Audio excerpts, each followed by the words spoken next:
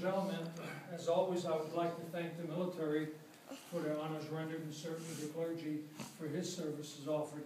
But this does conclude the services here at Cheltenham Veterans Cemetery this afternoon, with the exception of the service outside for Mr. James Chesley, United States Army.